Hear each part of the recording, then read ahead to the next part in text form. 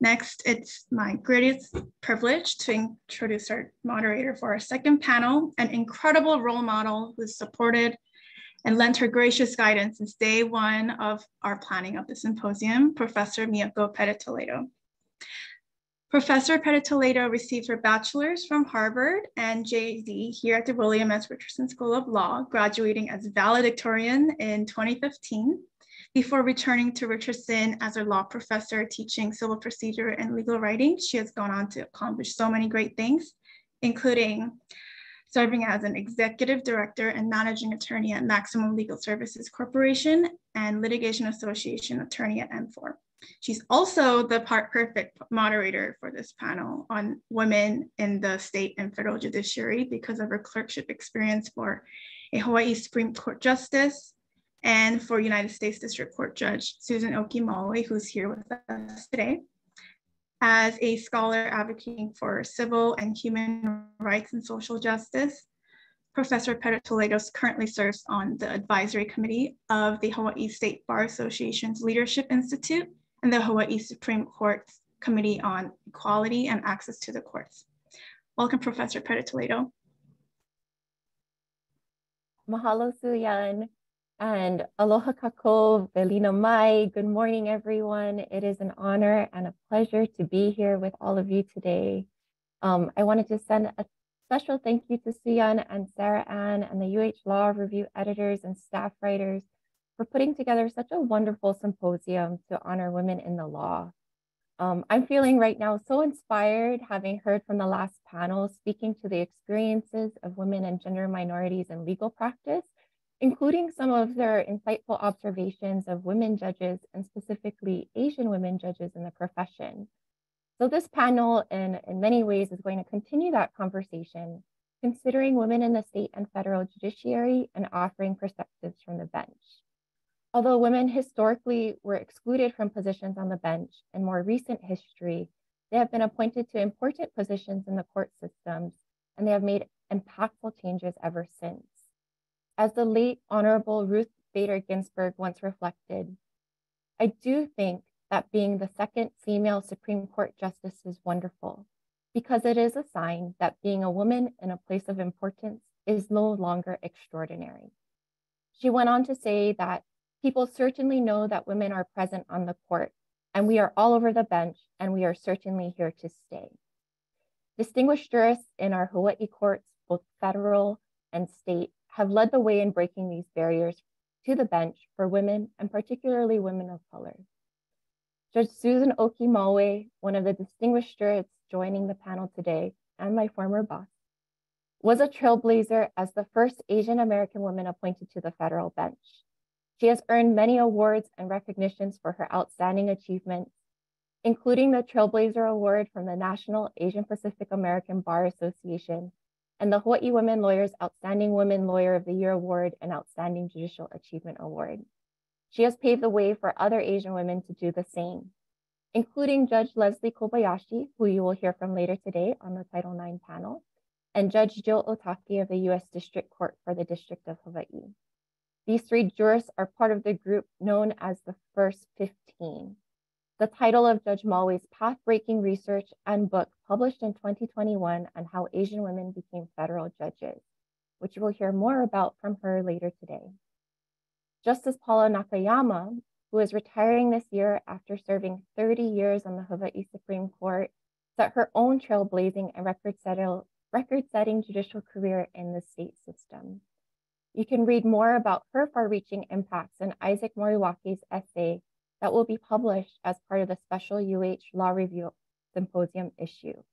For her incredible work, achievements, and jurisprudence, she has rightfully earned the title, the Lady of Justice of Hawaii, the title of his essay.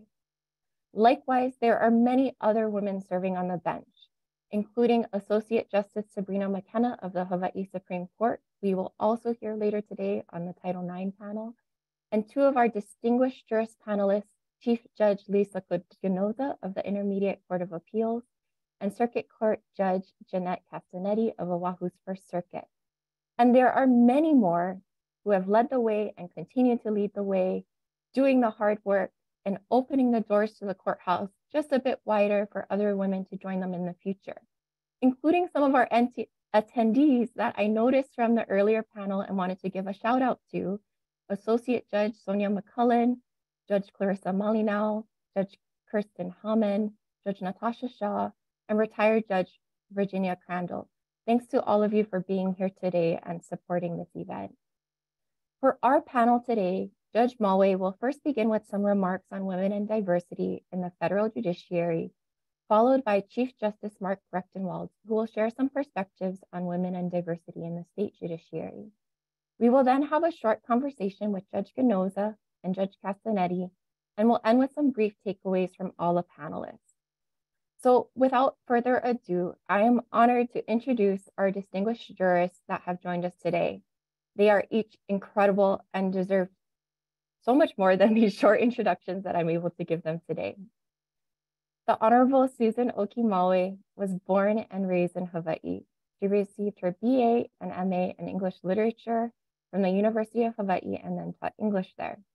She went on to graduate cum laude from Harvard Law School, where she was the editor in chief of the Harvard Civil Rights Civil Liberties Law Review. Nominated by President Clinton, Judge Mollway became a United States District Judge for the District of Hawaii in 1998. She served as the District Chief Judge from 2009 to 2015. Before becoming a judge, she was a civil litigation partner at Cades Schutte and served as an adjunct professor at the William S. Richardson School of Law. Thanks for being with us here today, Judge Mollway. The Honorable Mark Recktenwald has served as the Chief Justice of the Hawaii Supreme Court since September 2010.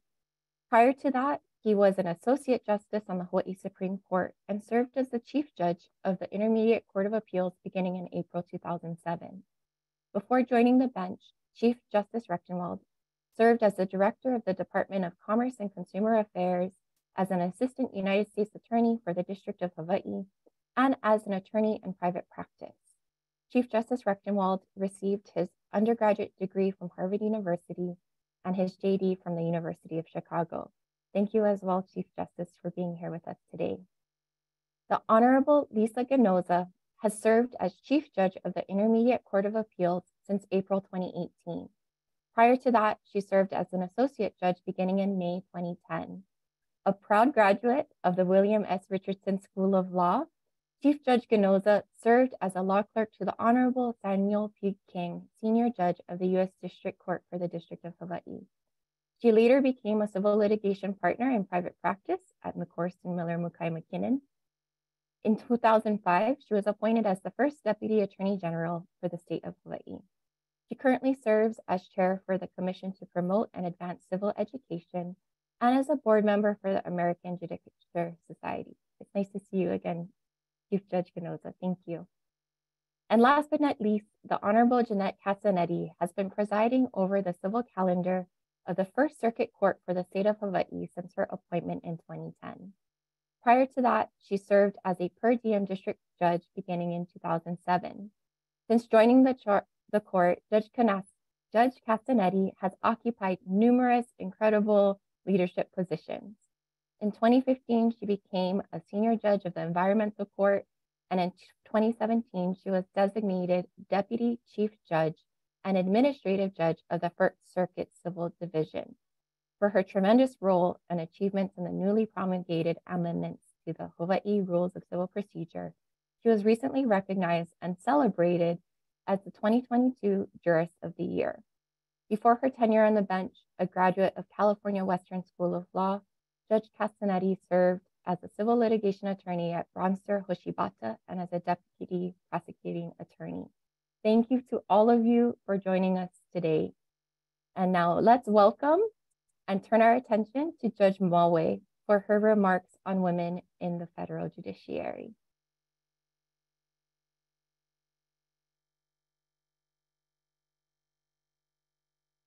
Judge, you have to unmute yourself. Thank you. Well, I thank you for including me in this symposium, symposium and on this panel with illustrious judges from the state court system. I know all of them and I admire all of them. And what I'm expecting today is to learn a lot from all of them. For myself, I will be focusing on women in the federal courts with particular emphasis on the federal courts here in Hawaii. When I passed the bar in 1981, there was no woman serving at any level of the federal courts in Hawaii. It was not until uh, Helen Gillmor became a federal district judge here in Hawaii in 1994 that Hawaii's federal courts had their first woman. I remember that um, she looked out at the women in the audience at her investiture and said, I am leaving the door wide open. At that time, I had no idea that four years later, I would walk through that door. Hawaii is allotted four active district judge spots, and today two of them are filled by women. Leslie Kobayashi, appointed in 2010, and Jill Otake, appointed in 2018. Leslie Kobayashi's district judgeship was preceded by her service as a federal magistrate judge. A magistrate judge is selected by the district judges in the district and serves renewable eight year terms. Judge Kobayashi was the first woman magistrate judge in Hawaii. She remains to date the only woman to have become a federal magistrate judge in Hawaii and the only federal magistrate judge in Hawaii, regardless of gender, to become a federal district judge. There has not yet been a woman living in Hawaii who has become a federal court of appeals judge or a bankruptcy judge. Women first joined the federal judiciary by being appointed to non lifetime judgeships. And that occurred in the early uh, uh, 20th century. The first Article 3 woman judge was Florence Ellenwood Allen, who was appointed in 1934 to the Court of Appeals for the Sixth Circuit. Article 3 judges are appointed for a term of good behavior rather than for a term of a set number of years and include circuit and district judges and Supreme Court justices. We are not yet at the century mark for women in Article 3 ranks. Today, about a third of active federal judges including active Article 3 judges and active non Article 3 judges, are women, even though women are about half the population. When I started law school in 1978, my class was about a quarter women. And when I began practicing law here in Honolulu, women litigators, particularly women litigators handling commercial disputes, were a relatively small group. I recall an incident some decades ago when I was practicing law that involved one of my co panelists who came through that incident looking like a fabulous role model even then. Chief Justice Recktenwald and I were on opposite sides of a case, and he represented someone I was deposing. The deponent was a man some years older than I was, who repeatedly called me honey and sweetie. At the time, I could have named a number of male attorneys who would have chided me for each time asking the deponent to stop doing that. And those attorneys would likely have told me I was making a really big deal out of something not important. To his credit, Chief Justice Recktenwald was not one of those attorneys, and he firmly admonished his client and told him to call me either Ms. Mollway or counsel, something I have always appreciated. When President Obama was in office, he set what was then a record when 42% of his judicial appointees were women as laudable as that percentage was, had it been maintained, it would have ensured that women never achieved parity in the federal judiciary. A new record has been set by President Biden. About three quarters of his judicial appointees are women. This increase may have been at least partly in response to vigorous advocacy by individuals and organizations seeking not just greater representation by women, but also by race and ethnicity, by sexual orientation, by law school, and by career background. I have some optimism that the number of women Article 3 judges will continue to increase as the past increases in women law students yield more and more experienced women lawyers in the pool of applicants. Of course, just having more women lawyers does not guarantee more women federal judges. A host of circumstances can affect who becomes a federal judge, not the least of which is pure luck. An Article 3 judge is nominated by the president and confirmed by the United States Senate. So the appointment process is overtly political, and one must be in the right place at the right time. Many promising candidates never become federal judges because vacancies occurred when they were, for example, too young or too old to be considered prime appointment candidates. This kind of circumstance beyond the applicant's control applies to all applicants, but women may be affected more because the roles that women often play with their families may make it harder for them to take advantage of opportunities arising at difficult times. A less overtly political selection process applies to non-Article 3 judgeships. As I noted earlier, magistrate judges are appointed by district judges. Bankruptcy judges are appointed by Court of Appeals judges. The appointing judges must select from short lists prepared by selection committees made up of lawyers and non-lawyers.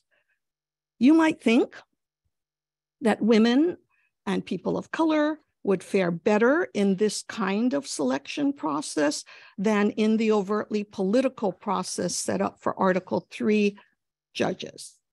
Nationwide data indicate that that is not the case.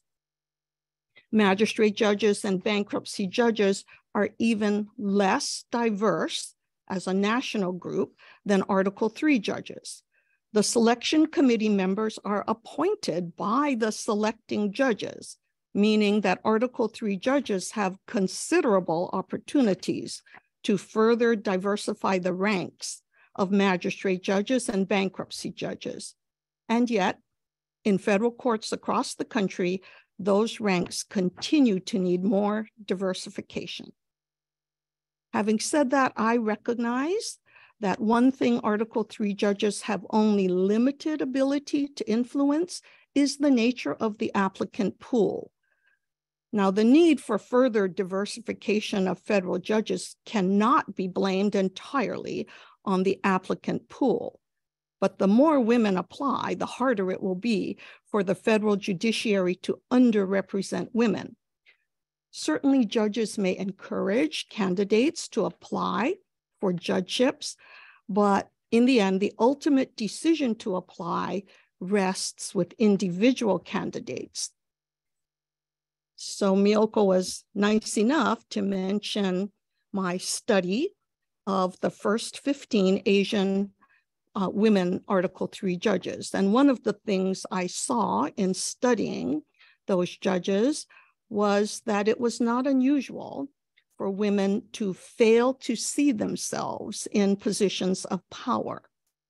Women who are excellent lawyers usually recognize their own competence and skill, but they may simply not envision themselves in Black robes.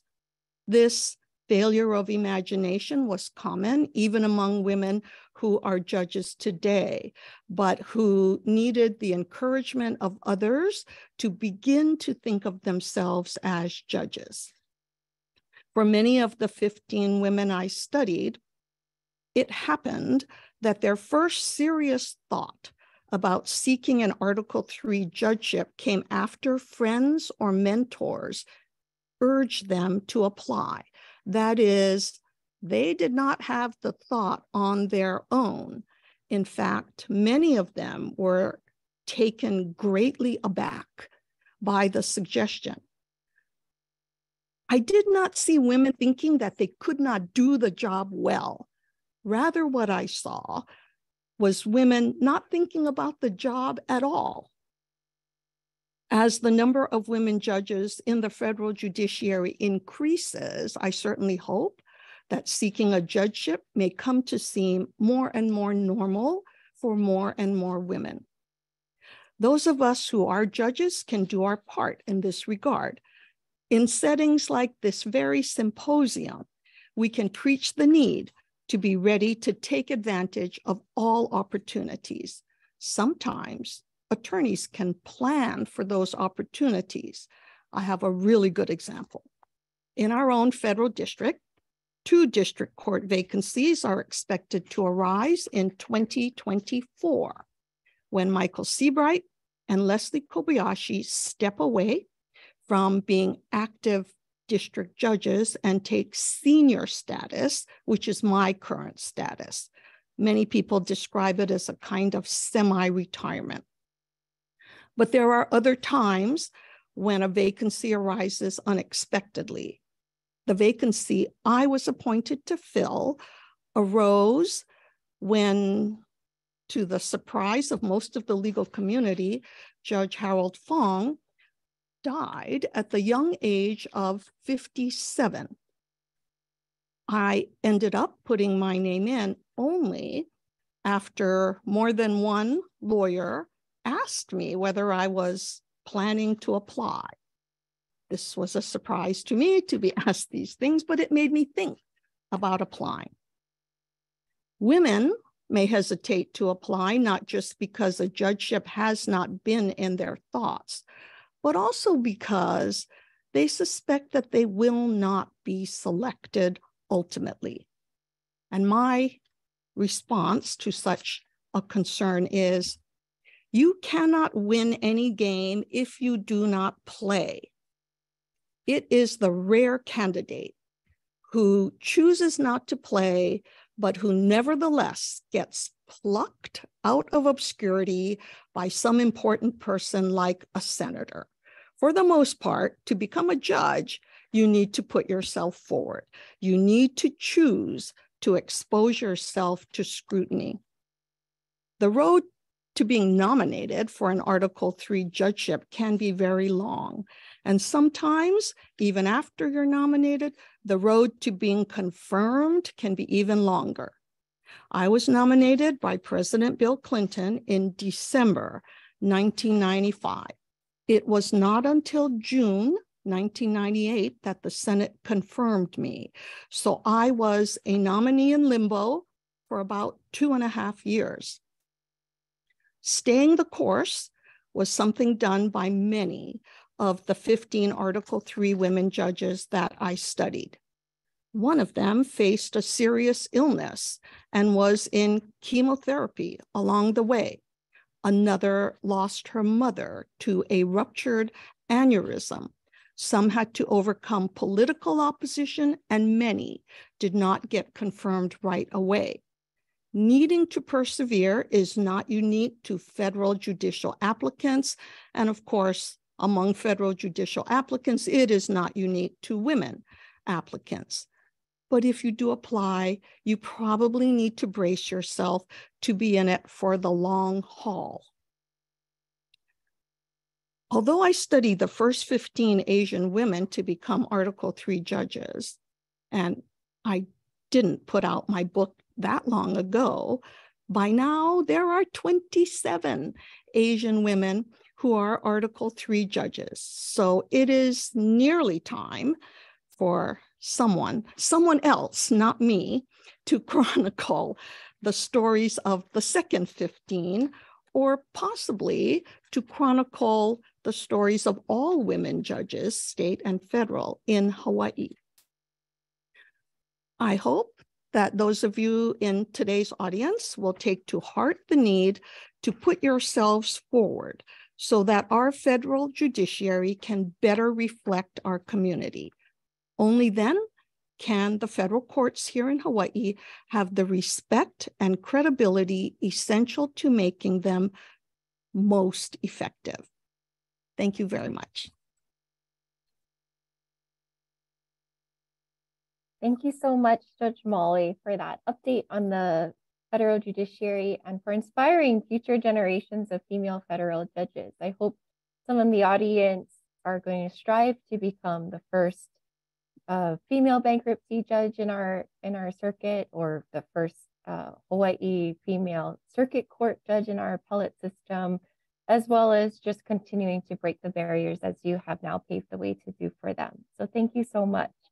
Um, now I'd like to ask Chief Justice Mark Recktenwald to sort of provide the counterpart to what Judge Molly was talking about and to provide an update on our women and diversity efforts in the state judiciary. Thank you. Well, thank you so much, Professor Pettit-Toledo, for moderating today. And thank you to the Law Review and Sue-Yan Burns and Sarah Ann Mao for all their hard work in making this amazing event possible. I also want to acknowledge uh, Michaela Eidinger and Lisa Lum, who uh, joined me in writing the article that I'm submitting as part of today. And then, of course, uh, acknowledging uh, Judges Mollway, Ginoza, and Castagnetti for their amazing careers and for being here today and for the influence that each of them has had on me, uh, both personally and professionally. I'm deeply grateful and, and honored to be here and be uh, part of this event along with them. Uh, I did want to acknowledge uh, my colleague, Justice uh, Paula Nakayama, who is, as, as um, Professor Pettit-Toledo mentioned, about to leave the court. Uh, she has had uh, an amazing impact on, on the judiciary as a whole, but in the court in, in particular, with more than 200 published opinions during her 30 years here, uh, and is going to leave a, an impact that I think will last uh, for the as long as this court is here, I think her impact will be felt in our jurisprudence. Um, I think it's interesting to note uh, when she was appointed back in 1993, she was the second woman uh, appointed to this court and the first woman of color. The first woman, Justice Rhoda Lewis, served from 1959 uh, to 1967. And if you go back and look at the history of the court and the judiciary, there have been on occasion women judges. Uh, the original Supreme Court uh, established by the Kingdom of Hawaii in 1840, had a woman, Kekauluohi, who sat on the court as uh, a Kuhina Nui. There were others at various points during the uh, course of, of, of, our court's history. But as recently as 53 years ago, our judiciary was entirely men. Um, and that's when Judge Betty Vitousek was appointed in the family court of the First Circuit um, and uh, in 1970. So, and now uh, as I'll mention in more detail in a moment, 49% uh, of our, our state full-time judges are women. So we've come an, an, awful long way. We have a lot of work left to do. Uh, and the work I don't think will ever be over, but uh, we've come a long way. And I want to share a little bit about uh, how I think we've been able to come so far in that in those five decades. Um, first of all, I just want to set the stage uh, just how dramatically women are underrepresented in le leadership roles in the legal profession. Um, women are 55% of law students, 40% of attorneys at law firms, but only 25% of the equity partners nationwide are women, and 34% of state judges nationwide. And as Judge Mollway said, the stat I saw was about 37%, but just a little over a third in the federal judiciary are women. So there's a big disparity between the number of women who are going to law school and entering the profession and those who are uh, taking on leadership roles, whether on the bench or in law firms. And I think we need to understand why that is and um, and and take active and proactive steps to address the barriers that clearly exist. And you know, they you heard a lot about them in the first panel, whether it's sexual harassment, discrimination, family leave policies, gender biases that exist. we need to work on every front. And that's why I think as an institution, our efforts uh, to address diversity, equity, and inclusion are so important. And I'll talk about those in a, in a moment. Again, the I think an institution has to show time and time again its commitment to providing a workplace where everyone is welcome, where everyone is respected, where everyone's uh, view is, is, is valued, and everyone's role in the institution is valued. And that's something you have to ab absolutely commit to uh, and walk the walk in so many different ways to establish credibility that I think ultimately leads people to think that might be an institution I want to be part of. And I think that's something we've really emphasized, particularly in recent years. And as you get more women in leadership roles, I think other women who are looking at the organization say, I could do that. I could, I could, I could take on that role. And often in our history, uh, the women who came early have uh, been generous in their time and support and mentorship. And I absolutely agree with Judge Mollway uh, uh, of reaching out to and supporting and encouraging other women uh, to apply to become judges. Uh, ju uh, my colleagues Sabrina McKenna and Darolyn Lendio, who tragically passed away recently, great examples of women who actively have encouraged others to think of themselves as judges and to go down the path that it takes to become a judge. Um, I'll talk a little bit about our selection process and then a little bit about our work on, DE, on, on diversity, equity, and inclusion. So I mentioned uh, we're now at the point of 49% of our full-time judges are women. Uh, that does stand out, as I said, above uh, above the national average, about 34%. Um, how we got there, I think, is a really complicated question. I'll try to hit a couple of different things that I think are important. I mean, again, I cannot overestimate or overstate the role of the trailblazers like Judge Vitousek, like Judge Justice Nakayama, like Justice McKenna, um, and others uh, who who have basically blazed the trail and showed how it could be done and inspired others to come into our organization. Marie Milks, the first uh, woman appointed to circuit court back in 1980, and then a number of judges that were appointed by um, John Waihee in the 1990s. I think he appointed 11 women judges uh, Watanabe on the ICA, Francis Wong, I believe. Well, Francis Wong uh, became a senior family court judge, Colleen Hirai, who became the chief judge of the First Circuit. So Vicki Marks and many others who really set the tone of our organization, I think changed who we were uh, and had this incredible impact out in the community. So I think their role cannot be overstated. Um, I think the fact that we have a merit-based judicial judicial selection process promotes diversity. Uh, I won't go into all the reasons or, or, or, or, spend too much time describing that process, but the we have a JSC, a Judicial Selection Commission with nine members who recommends uh, candidates to become judges uh, for family court and district court. The recommendations come to me for circuit court and our appellate courts go to the governor. Um, and I think that process, as opposed to an elective system of uh, choosing uh, uh, judges promotes diversity. And I think there, there's work that's been done by the American Judicature Society that's demonstrated that, and that merit-based selection leads to a more diverse judiciary.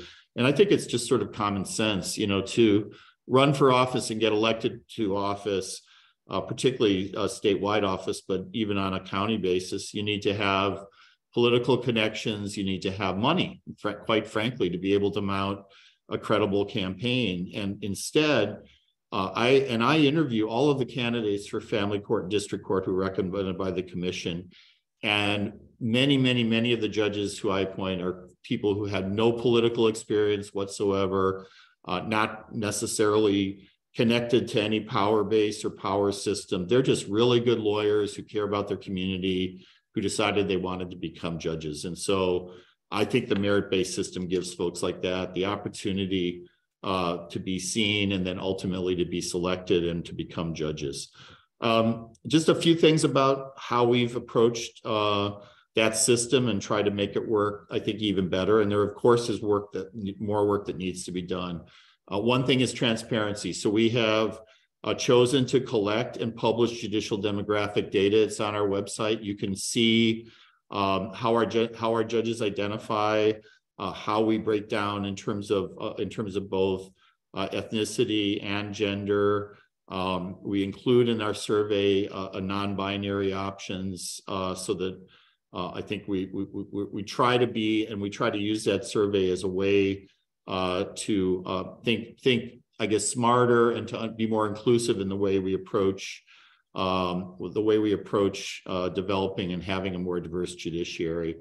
we've engaged a lot, both myself and the Judicial Selection Commission with specialty bar groups across the state to try to demystify the process, try to encourage uh, folks who might not have thought of themselves as a judge to be able to hear this is how it works. This is what you need to do. This is the challenges you'll face. And I think that has led to uh, more folks being interested in uh, serving as judges. We try to support partners in the community who are doing great work around this issue. Uh, the law school, which is uh, under under Dean Nelson's leadership, I think doing remarkable things. It's one of the most diverse law schools in the nation, and that's an incredible, uh, incredible, I think, source of talented folks uh, for us as a judiciary as they graduate and then move into careers. And the Hawaii Women Lawyers is actively developing a program uh, to mentor uh, women who are interested in becoming judges. So I think uh, we try to support those partners. We try to get out to as many people as we can to de demystify the process. And I think you know, ultimately the, the proof is in the pudding, how we approach it, how, who, how we select people, who we select. I think folk, uh, people step back and they look at that and they say, I think that's a fair process. I think I have a shot. I think it's worth it for me uh, to apply and I'm going to go ahead and do it. And I, I, I like to think that's been uh, played a big role in how we've gotten from uh, no women judges in 1970 to 49% of our full-time judges being women now. Um, the other thing I wanted to emphasize and I, is I think the importance of an institutional commitment uh, to diversity, equity, and inclusion. Um, and that's been something, especially in the last five years or so, we've we've gone all in on. Um, in 19, uh, 2019, we developed, we adopted uh, mandatory training every two years for all judges and all employees of our institution.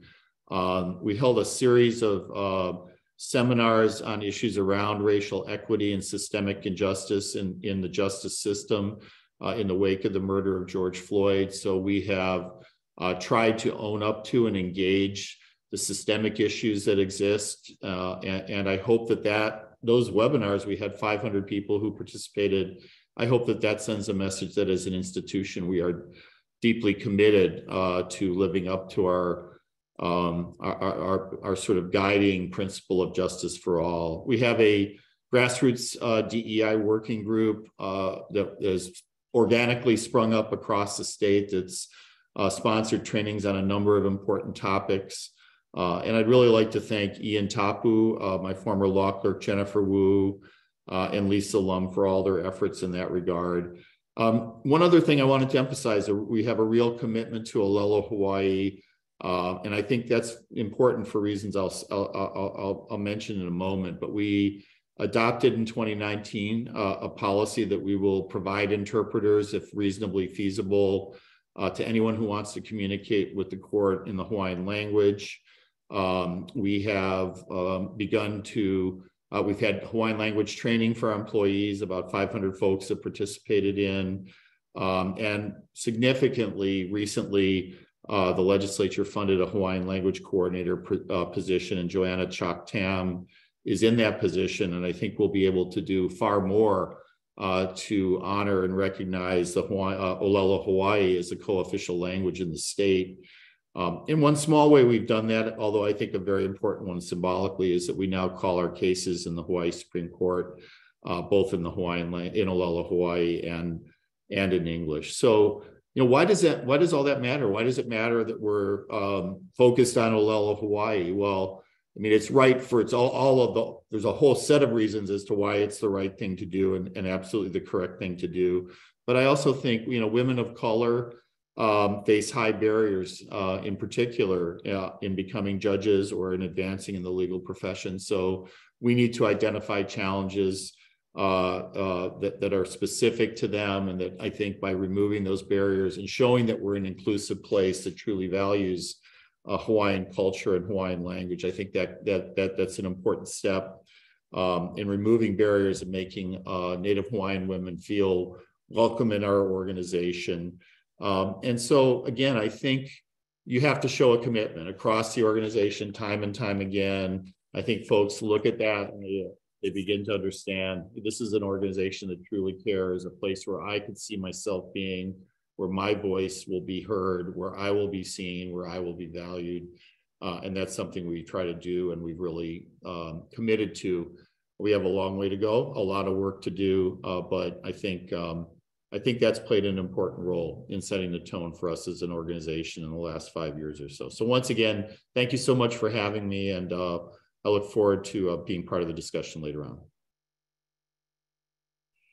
Thank you so much, Chief Justice Recktenwald, and thank you for your leadership, for being an ally, including to people like Judge Mollway when she was in practice, and for uplifting and supporting women and people of color in the state judiciary. Um, now I'd like to shift gears a little bit and have a little short conversation with Judge Ginoza and Judge Castagnetti. Um, so Judge, Gino Judge Ginoza first, um, as a model of success for women both in the practice of law and now as a jurist, your, your success speaks to the evolution in women's access to participation in the courts, especially in the last half century. So I was wondering if you could reflect a little bit on what you saw as the greatest barrier to women's participation when you first began your legal career, perhaps what progress has been made in eroding that barrier. And now, today, what do you feel represents the greatest barrier moving forward? Well, good morning, Professor Pettit-Toledo. Um, I want to thank uh, Suyon and Sarah uh, for organizing this wonderful event and everyone involved and to my fellow panelists who uh, inspire me greatly. Uh, it's really a pleasure to be here. Um, and as I was thinking about today's uh, discussion, you know, one thing that dawned on me is how important a role, first of all, the William S. Richardson School of Law played in my life and in my legal career. So, first of all, I like to just appreciate that so much. Um, and I have a picture on my wall by my door the, the, to my office of my 1989 uh, graduating class from the William S. Richardson School of Law. So I see it all the time. And I didn't until yesterday realize what a great symbol of diversity it is. I actually counted. There are 50 of us in that picture, and 25 are women. Um, perfectly, uh, you know, that, that 50% that, that Judge Mollway was talking about. And there's other types of great diversity in that picture, and it's reflective of the Richardson Law School, right?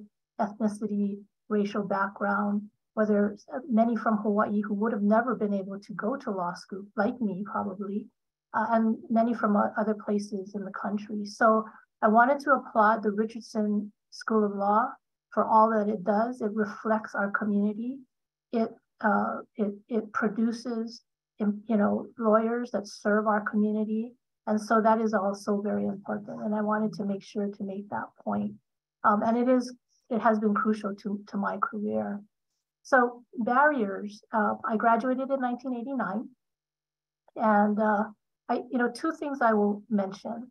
So when you are a 2L, you're looking for a clerkship that, you know, for many people may you know uh, be a pathway to their career. So a fellow classmate and I, uh, you know, we were looking at some of the firms in town. Uh, she was a a fellow um, study group member with me, and we decided to be a package deal. Two women coming out of law school, you know, we had done pretty well.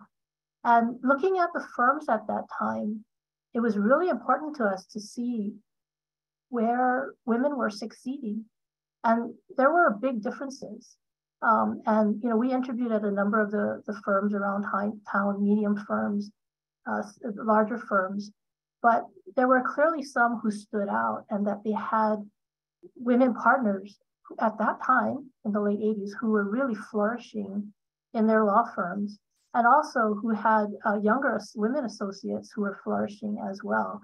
Well, we picked one of those firms. Um, it happened to be uh, the firm that the Chief Justice Recktenwald uh, was at uh, at that time, uh, Goodsill.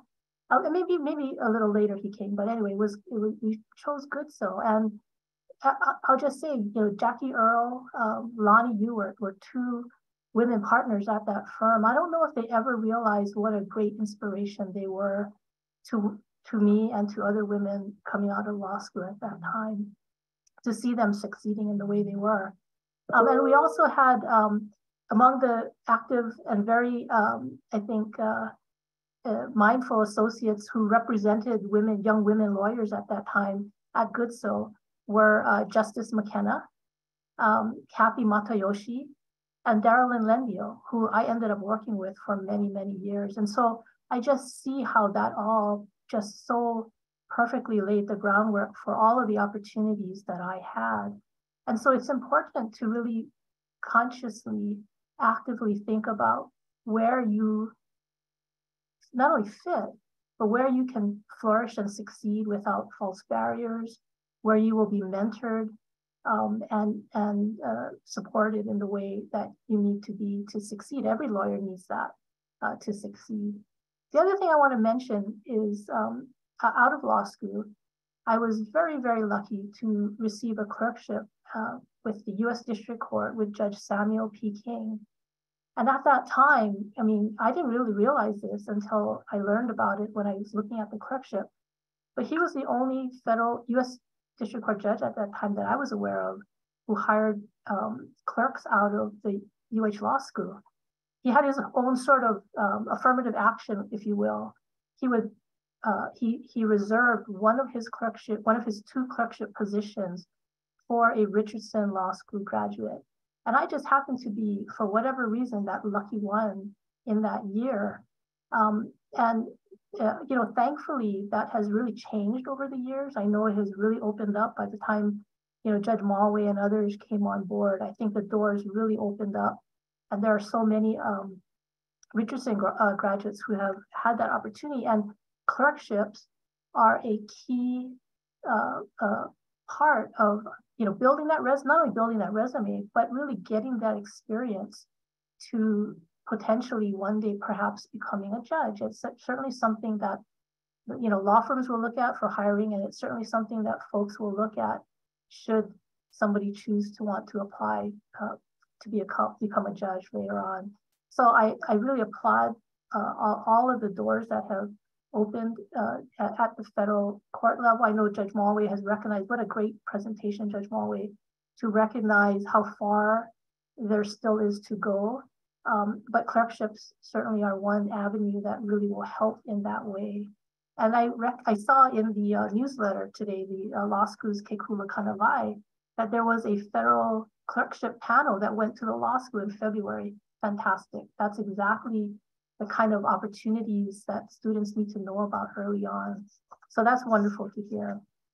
Um, in terms of barriers for women judges, I think Chief Justice uh, talked uh, about the, the selection process, and that's really what it's about in, in my view. People need to understand what that process is. It's a three-step process, right, with the JSC, the appointing authority, and the Senate.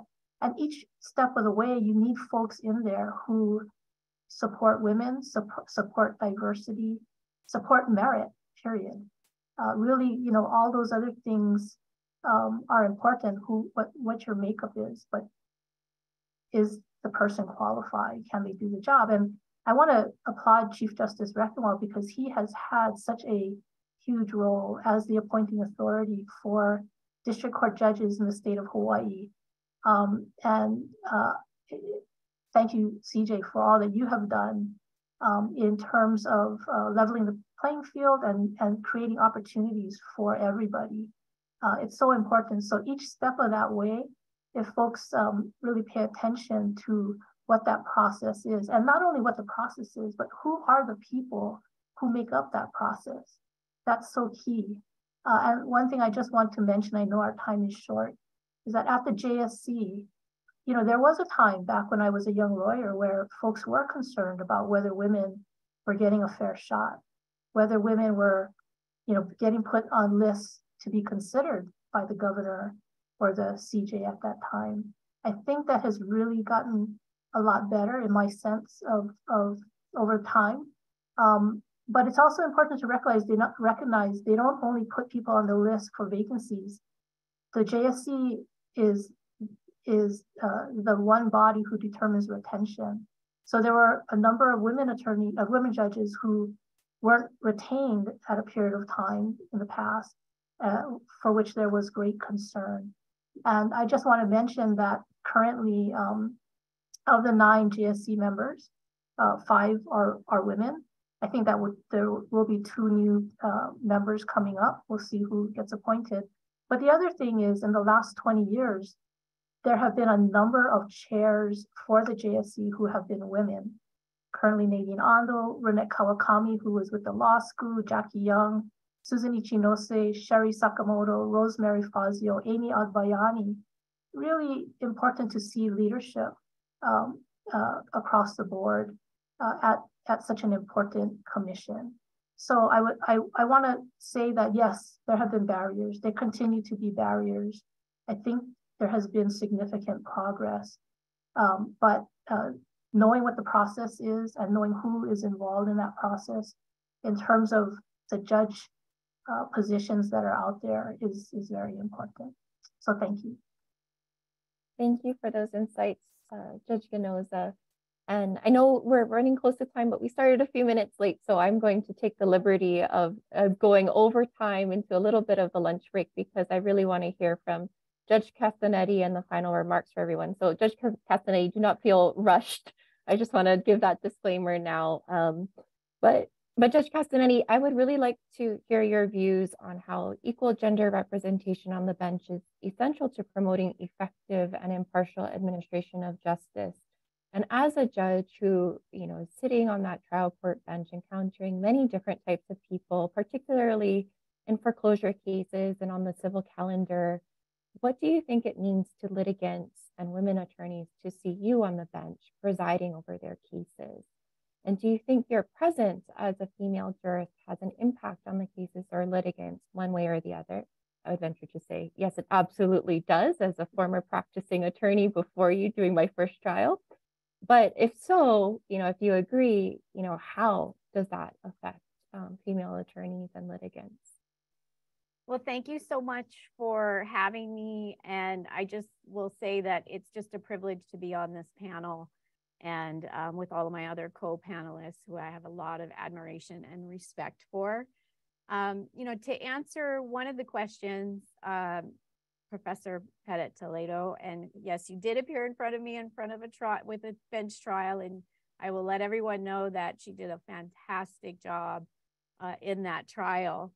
Um, but as far as you know, how the impact that um, a woman judge has when young attorneys or young women attorneys or litigants parties see that there is a woman judge presiding over a case.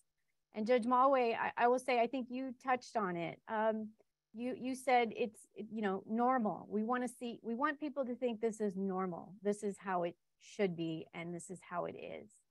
And to give you some context of why I say it that way, of how I think it impacts uh, a woman judge impacts uh, attorneys, women attorneys, as well as parties, is that let me just eh, give context as far as what it was like when I started practicing or was a young lawyer or fresh out of law school. In fact, my first experience with the courts was as uh, an extern, a full time extern in the US District Court here in Hawaii with Magistrate Judge Barry Kurren, who was a wonderful judge and um, unofficial mentor. He probably didn't even realize he was a mentor, but I made him one in my mind. But um, you know, I there was it was the fall of 1998, and there was going to be a new judge uh, who was going to be sworn in, and that person was Judge Mollway. And so that was my first exposure and Judge Mollway, I'm sure you don't know this, but um, I was a small part of your investiture or swearing in ceremony. Actually, not the ceremony itself. I couldn't sneak into the courtroom to watch it, but I was down at your reception. As an extern, you get asked to help out where you can, and I manned the cookie table to make sure that everybody got their sprinkle cookies as part of your reception. Um, but I was there, and that's what I saw. And then, as a young deputy prosecutor, Um, I saw I appeared in as in courts with as many women judges as there were male judges, and I just want to mention some of them because I think it's important for everybody to remember um, all of these women judges in state court um, that we all saw and know, and that includes Marsha Waldorf, Colette Garibaldi, Barbara Richardson. Uh, Rhonda Nishimura was a district court judge and then a circuit court judge who I appeared in front of in circuit court, um, of course, there was Lee Crandall, um, Gail Nakatani, Sandra Simms. Um, this was my time when I was starting out. Uh, Judge Marks, Vicki Marks, as well as Judge Hifo, and of course, Sabrina McKenna also being in circuit court as well. Those were the women judges that I appeared in front of, and they inspired me every day by being the types of judges that they were. They were competent, they were prepared, they were them they were themselves you know the earlier panel this morning i heard mia yamamoto say be yourself be authentic and all of these women judges were authentic and genuine on the bench each were different but they were also very inspirational so what i hope that young women attorneys hear and what they think of is that this is how it should be. This is normal because it feels normal to me. And i have benefited from so many of those women judges uh, who put themselves out there and and and put themselves under scrutiny um, in the spotlight to do what they do to enhance the profession. And i hope that's what it means for younger women attorneys that they see that and then emulate it whether it's as a judge or as a professional as an attorney to be prepared and be the best that you can be i think also for litigants the impact um, that seeing a woman judge preside over their cases has, you know, just from the global perspective, it enhances the legitimacy of the courts. If the public or if participants in court proceedings, if they see, if they if they view the courts and judges as elitist or as privileged individuals, then that just erodes the trust that um, we need in our in our justice system. And so to have a diverse bench, whether it's men, women, um, people of all races, ethnic backgrounds, and so forth, then that's what we want because it does enhance um, the justice system and it lends credibility. And I think Judge Mollway, you also mentioned that as well. Um, you know, as for um, representation on the bench and you know what the impact it has also uh, for women judges um, what it has on litigants and, and attorneys and the public. Um, I would also add that it just really, it's, I guess I would say from a from my perspective as a as a woman and then a woman judge, my background, my experience is different than my male counterparts. Um, they didn't sit in a deposition where um, they've been called dear or sweetie Judge Mollway, you talked about your experience that you had with Chief Justice Recktenwald when you were both attorneys. Um, and so they didn't experience that. I've had it. Other women judges, women attorneys have all experienced that at some point. And if you didn't, then you should consider yourself very lucky. But my background does lend itself to a different perspective. And I think everybody has heard the quote from Justice Sandra Day O'Connor who we all know was the first woman Supreme Court justice on the United States Supreme Court. And she's often quoted as saying a wise female judge will reach the same conclusion or result as a wise male judge. And in a lot of cases, that's true. If you, you breach a contract case, a commercial case, um, you know, there's nothing wrong with that statement. It's it's it's very true and accurate. But there could be instances in cases where um, a woman's background uh, and sitting as a judge could lend itself to enhance the discussion of the case and the proceedings that could in certain limited circumstances reach a um, you know a more just result perhaps. I think justice ruth bader ginsburg taught us that um, at, for the work she did as a lawyer but also on the united states supreme court as well um, that a woman's perspective on the bench can show different um, I don't know, just the way laws are interpreted, the impact that it could have on women. I think it just does change the discussion and it makes for a much better justice system overall. Thank you, Judge Castagnetti. In our remaining five minutes or so, I wanted to do kind of a, a, quick round robin and ask all of you for a brief takeaway addressing what advice would you give young lawyers, women or otherwise, who hope to accomplish the same types of success that all of you have so far in your careers? Or perhaps more specifically, what would you say to young lawyers considering a career on the bench, perhaps in the future? And I'd like to start with Judge Mollway and then CJ Recktenwald and then Judge Ginoza and then Judge Castagnetti.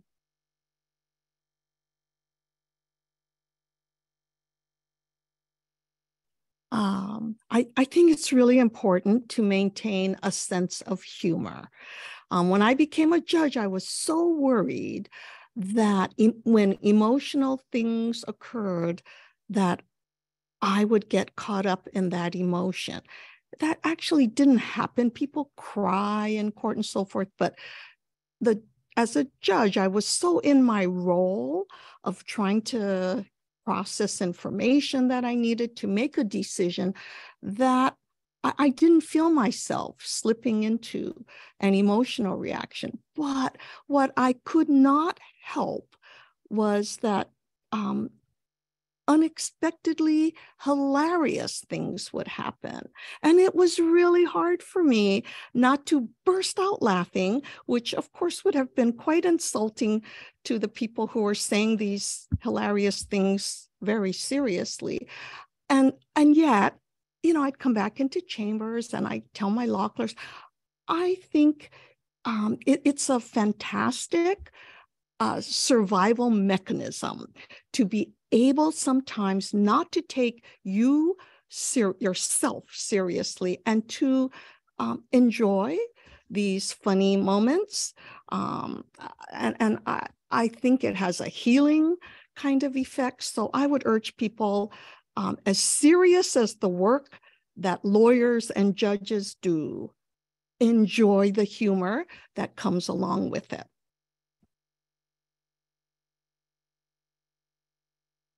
Thank you, Judge Mollway. And I remember having some good laughs with you in yes. chambers. So thank you for teaching me that lesson early on. Uh, CJ Recktenwald?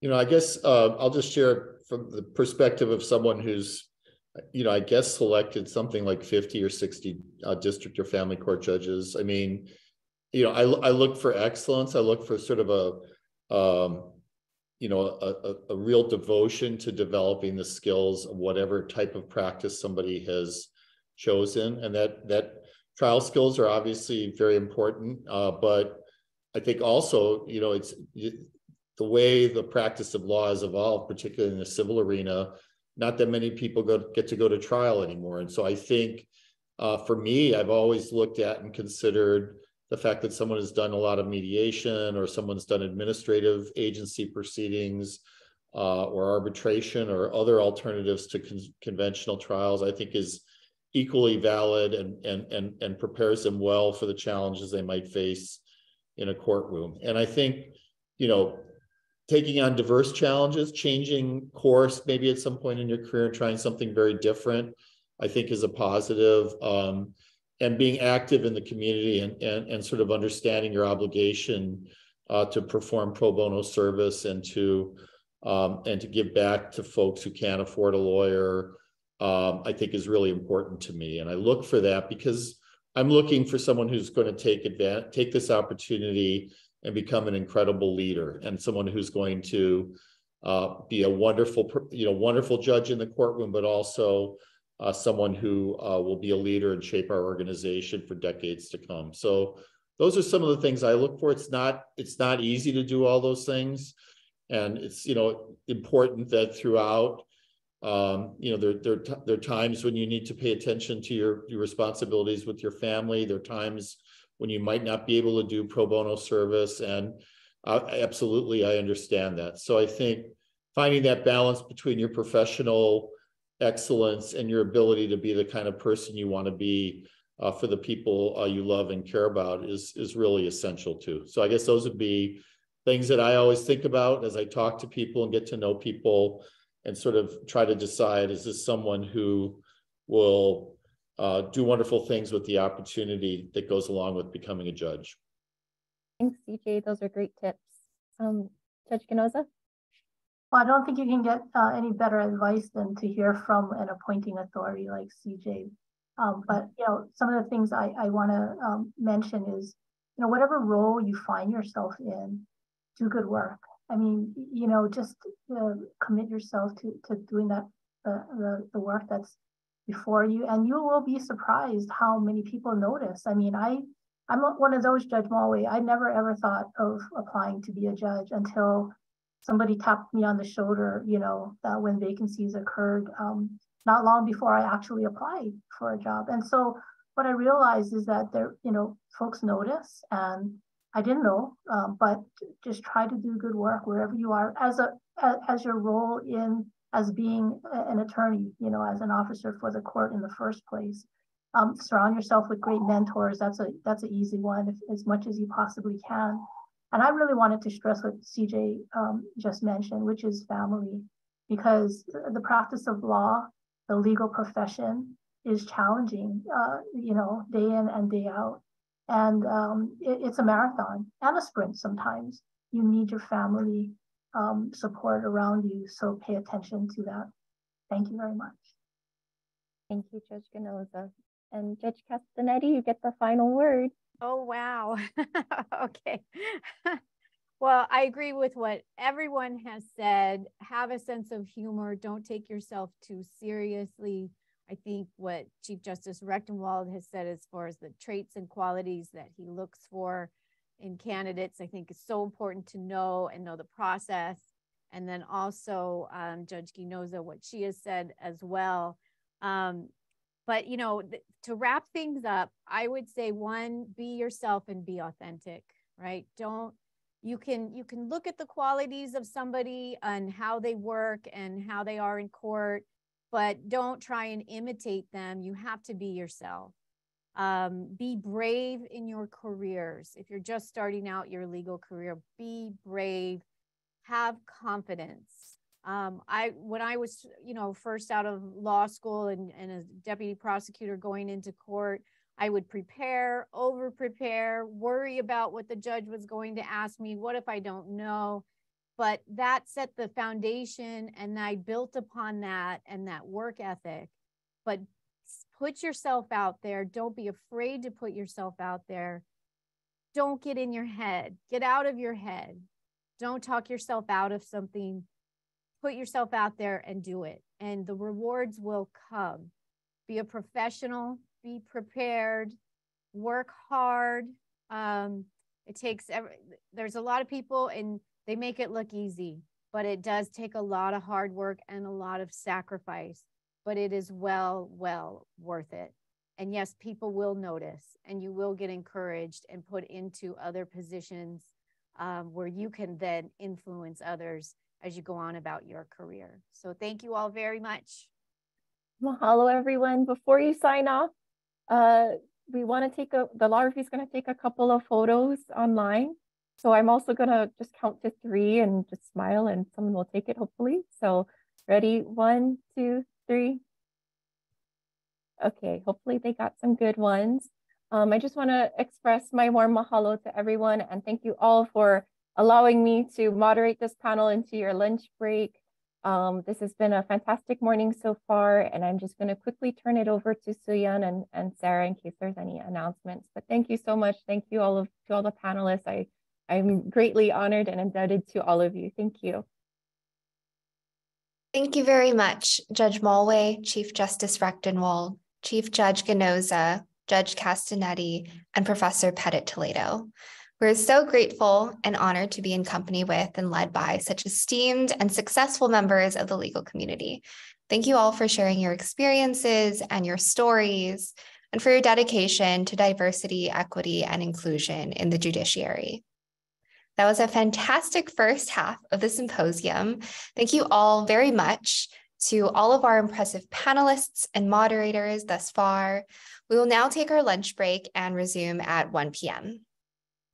We welcome you to stay logged on if you'd like and enjoy our playlist featuring Hawaiian and local music by women artists. Special shout out to our executive editor, Hi'ile Casco, for curating the playlist. Thank you. We'll see you soon.